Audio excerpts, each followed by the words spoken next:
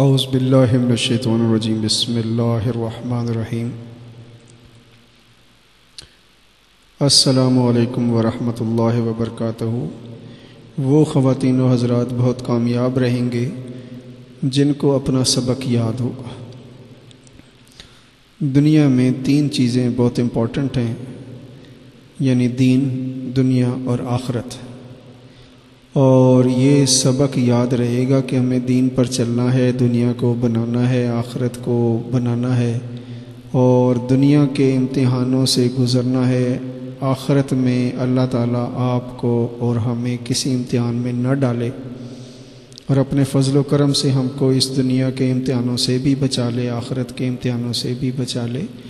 तो ये जो सबक हैं इन तीनों को मद्देनज़र रखते हुए हमने तीन सबक याद किए, एक पहला सबक बिसमान रहीम जो हर वक्त पढ़ने वाला सबक है, दूसरा सबक है सूरह यासीन शरीफ त्रुता शरीफ।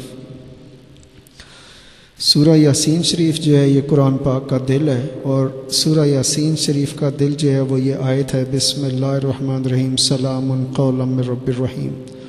सलाम कौलम रब्बिर्रहीम, यानी अपने रब की तरफ़ से, अपने प्यारों पर रब का सलाम होगा। तो क्या कमाल की बात होगी, क्या घड़ियाँ होंगी, क्या खूबसूरती होगी। जब आप लोग जन्नत में होंगे, मौज लगी होगी, अर्श के साय के नीचे सब बैठे होंगे। और लेकिन ये सबक न भूलना, वरना वक्त ऐसा सबक आपको सिखाएगा कि वो उसकी जो सख्ती है, वो मरते वक्त भी याद आएगी और उसकी तलखी जो है, यानी वो जो सबक जो भूल गए दुनिया की, जो सबक आपको याद कराया जाएगा, जो वक्त कराएगा, वक्त इज़ द बेस्ट टीचर ये वक्त सबको बड़ा कुछ सिखाता है। आपने देखा होगा कि ये बादशाह जो वक्त में बैठे हुए थे, यानी मोमर गजाफ़ी साहब और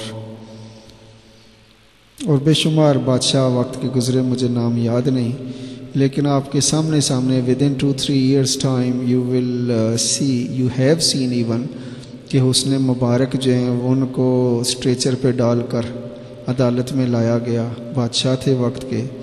काम अपना कर रहे थे और इसी तरह ममर कज़ाफ़ी जो हैं, कर्नल कज़ाफ़ी, इन्होंने कुछ चालीस साल एक हुकूमत की। देखे कैसे वक्त बदलता है रंग, यानी बदलता है रंग आसमां कैसे कैसे। तो आपने देखना है कि बादशाह बादशाह नहीं रहता तो फिर ये क्लर्क बादशाह, कब यह सदा बादशाही अल्लाह की है? बस यानी जिधर इशारा करना चाहता हूँ, बात समझाना चाहता हूँ, वक्त ज़ाया करना नहीं चाहता कि वक्त is everything time is everything control it और कैसे कंट्रोल करें कि आप टीवी देख रहे हो तो साथ ही वज़ू करके तस्वीर लेके पास बैठ जाएँ। टीवी देखते रहें, इधर से ज़िक्र इलाही करते रहें, यानी हाथ, कार वाल तो दिल यार वाल। आँखों से अगर कुछ देखा जा रहा है, कानों से सुना जा रहा है तो ज़ुबान से ज़िक्र इलाही भी जारी है। अगर ऐसा करोगे तो ये वक्त ज़ाया नहीं होगा, वरना आपका ये वक्त आपके हाथ से निकल जाएगा। जैसे आपके दादा जान, आपके परदादा जान, आपके नाना जान ये आपके सामने, आपके हाथों में आप खुद इनका जनाजा छोड़ कर आए और ये जनाजा आज नहीं तो कल सब का निकलना है। फिर आप कहेंगे कि जिगर चलनी है, दिल घबरा रहा है और मोहब्बत का जनाजा जा रहा है। तो ये आपको पहले बाखबर कर रहे हैं हम कि मौत की तैयारी भी करते रहें, इम्तहान की तैयारी भी करते रहें। दुनिया में जितना भी पढ़ लेंगे, जितना सबक आप पढ़ लेंगे, ये आपको कहीं ना कहीं लाकर ऐसी स्टेज पे खड़ा कर देगा जहाँ आप सोचेंगे कि, ओहो, ये मुझसे क्या हो गया? मैंने क्या कर लिया कि आप अगर मिसाल देखना चाहते हैं तो डॉक्टर कदीर ख़ान की देख लें कि he is the international player of scientific life तो आप देखें कि वो बेचारा कहाँ, किस स्टेज पर आ गया कि वो उसको कोई पूछता ही नहीं है और उसकी कोई कदर व कीमत ही नहीं है। तो इसीलिए वो लोग कामयाब रहेंगे, जिनका ताल्लुक़ अल्लाह से होगा, अल्लाह के रसूल सल्लल्लाहु अलैहि वसल्लम से होगा। इन ताल्लुक़ को हम जिस अंदाज से पेश करते हैं, हमारी जो प्रेजेंटेशन है, कि जितना आप सुन्नतों पे अमल करेंगे तो फ़राइज़ की अदायगी आपका मुकद्दर बन जाएगी। अल्लाह की रहमतें, अल्लाह की दोस्ती, अल्लाह की मोहब्बत आपकी तरफ़ दौड़ कर आएगी। और आपकी ये जो जहालत के अंधेरे हैं और ये जो गुर्बत है पॉवर्टी एलिमिनेशन है, इसमें अल्लाह फजल फरमाएँगे और पूरी दुनिया से जहालत के अंधेरों को मिटाकर इल्म की शमा रोशन होगी। लेकिन यहाँ सब ये दुनिया है इस दुनिया में आप देखेंगे कि क्या पढ़े लिखे क्या अनपढ़ क्या एक्सपर्ट्स क्या non skilled people, everyone is suffering from one or the other problems or either one और दी अदर डिज़ीज़ ये दुनिया है दुनिया को समझना है। चार बड़े दुश्मन हैं आपके उनसे अगर आपने बचने की कोशिश कर ली तो everything will be all right एक शैतान है, एक नफ्स है, एक दुनिया और एक मखलूक खुदा है, चाहे वो गैबी शक्ल में है या इंसानी शक्ल में है या ज़ाहरी शक्ल में है everyone is your enemy चार दुश्मन है बस, और शैतान इज़ मोर पावरफुल और चूँकि जब शैतान को अल्लाह ताला ने रिजेक्ट किया था, निकाला था अपनी बारगाह से तो उसने दुनिया के साथ और आपके नफ्स के साथ मिलकर एग्रीमेंट कर लिया कि हम हज़रत इंसान को, चाहे वो ख़वातीन हैं या हजरात हैं, नहीं छोड़ेंगे, उनको मरवा देंगे और वो शैतान अपने पूरे आबोताब के साथ, उसे भी ना नींद आती है, ना आराम आती है, ना चैन आता है, वो बस मुसलसल आपके पीछे और ख़ास तौर पर उन लोगों के पीछे जो दीन इस्लाम से मोहब्बत रखते हैं, उनको जो सबसे बड़ा इम्तहान आएगा, जिसका इशारा अल्लाह सुबहान व ने कुरान पाक में फरमा दिया, कि ये औलाद आपके लिए आजमाइश बन जाएगी। और ये जो आजमाइश है, ये कभी आपके साथ मोहब्बत के मानों में आ जाएगी, यानी इतनी मोहब्बत करेगी कि आपको अल्लाह से दूर कर देगी। और कभी ये नफ़रतों के पहाड़ बन के आपके सामने खड़ी होगी और कोई भी वालद ये नहीं चाहेगा या वालदा ये नहीं चाहेगी कि वो इनके साथ कोई मुकाबला या मैच करे। तो इसलिए ये हथियार फेंक देंगे, लेकिन आप सबक याद रखना बिसमीम और जो द्रोशिफ हम पढ़ते हैं, पढ़ाते हैं, पसंद करते हैं और चाहते हैं कि आप भी पढ़ें, वो बिसमीम सल्लल्लाहु अला हबीब ही मोहम्मद वसल्लम। बिसमीम